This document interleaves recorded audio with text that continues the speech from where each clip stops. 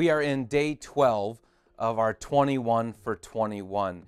We're on the home stretch now. So if you've been with us this whole time, congrats. We are now heading towards uh, the finish line, but we are right in the middle of looking at the Lord's Prayer in this in the middle of this month. And today we're going to look at part of the Lord's Prayer that is really at the heartbeat of the message of Jesus. And really, it's one of the simplest parts of the Lord's Prayer and also the hardest to put into practice.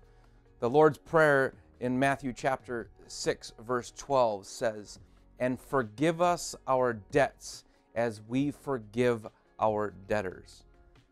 It's really about the, the heartbeat of the message of Jesus. Why did Jesus come? It's because you look at the, the story of the Bible, it's about this humanity that was separated from God because of sin way back at the beginning. And God has been trying to rescue and save and forgive his people over and over and over again, generation after generation. And nothing really works to solve the problem that we continue to be separated from God until we see Jesus.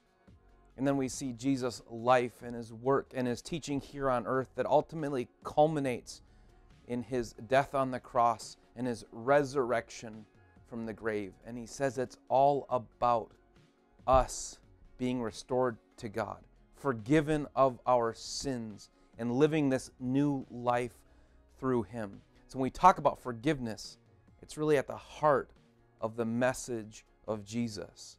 And Jesus, in this part of the Lord's Prayer teaches us to live this forgiveness out in our own lives on a daily basis, to be people that ask for forgiveness, but also people that go about forgiving others in our own lives. If we look at the words in this verse, it says, Forgive us our debts as we have also forgiven our debtors.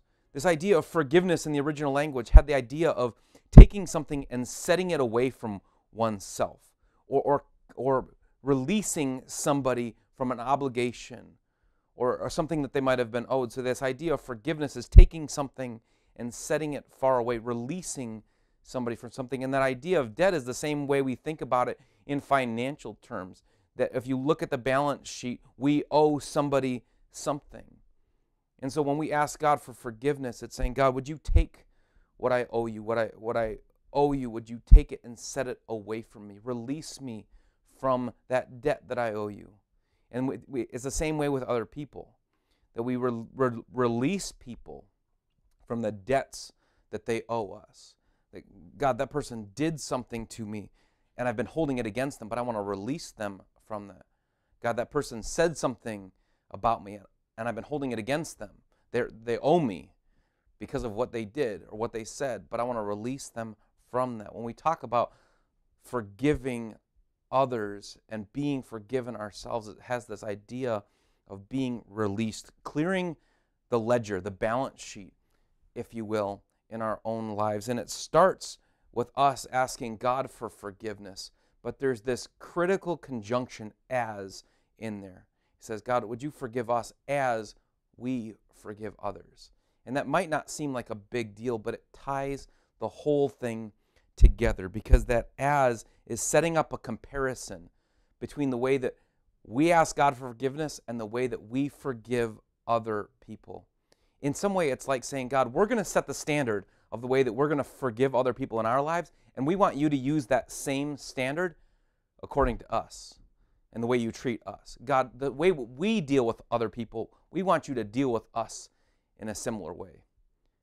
And that's the terrifying part of this part of the Lord's Prayer is that we set the tone and the pace for forgiveness in our own lives. We can't be people that ask God for forgiveness, but then also refuse to forgive other people in our own lives because of this conjunction as in there.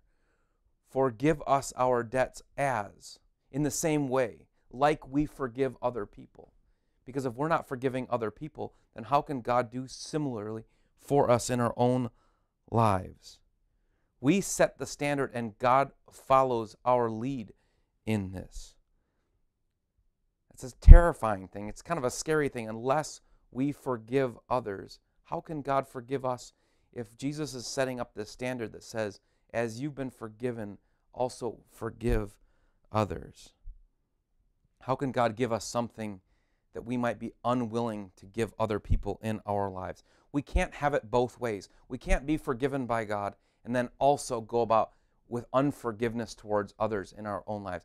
If we want to be forgiven by God, we need to grow into becoming people of forgiveness. And I know that really hits at the heart of some of the hardest issues we face here on earth in our relationships because some of the hurt and the pain that we've been hanging on to seems like it might be impossible to forgive in our lifetimes. But you think about what Jesus did on the cross and the pain that he took on and the way that he forgave us of such a great debt that we owed him, that he offered us life eternal because of the way that he forgave us. With his help and with this prayer, we can become people who forgive others in our own lives. Do you want to be more like Jesus? Then become a great forgiver in your own life. Jesus forgave so much, and we, he can also help us become people who forgive others in our lives. The truth is that we are never more like Jesus than when we forgive others who have sinned against us. We're never more like Jesus than when we forgive others who have sinned against us because Jesus had no sin. He had never sinned, and yet he forgave all of humanity and all of their sins. And we become more like him when we follow in his leading. So here's what I want to ask you to do today. This part of the Lord's Prayer is simple, yet profoundly difficult in some ways in our own lives. I want to ask you to read the very next verses after the Lord's Prayer. You can find them in Matthew chapter 6, verses 14 and 15. And they talk about the way that we can go about being people of forgiveness, the importance of forgiveness in our own lives. I don't want to share them with you, I don't want to ruin the surprise for you. But would you just take a second to go to Matthew chapter 6 and read verses 14 and 15 and see what Jesus taught us again about the importance of forgiveness and living that out in our own lives.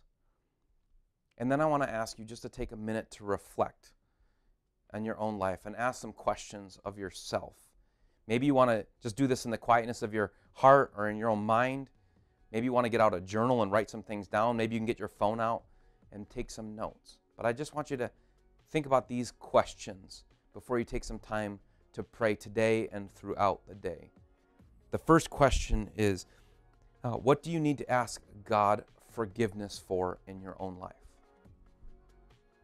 What do you need to ask God for forgiveness for in your own life? And the second question is, what do you need to forgive others for in your own life? Who do you need to forgive? Just take a minute and write those things down.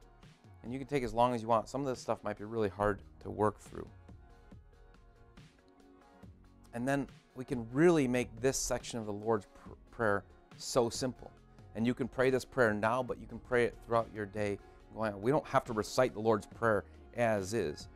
The gist of it is a prayer that goes something like this Lord, forgive me and help me forgive others. Lord, forgive me and help me forgive others. Lord, forgive me and help me forgive others. So once you read Matthew chapter 6, verses 14 and 15, take some time to ask yourself those questions today. What do I need to ask God for forgiveness for, and who do I need to forgive? And then t- take some time and then just pray this simple prayer right now and throughout your day God, forgive me and help me forgive others. Amen.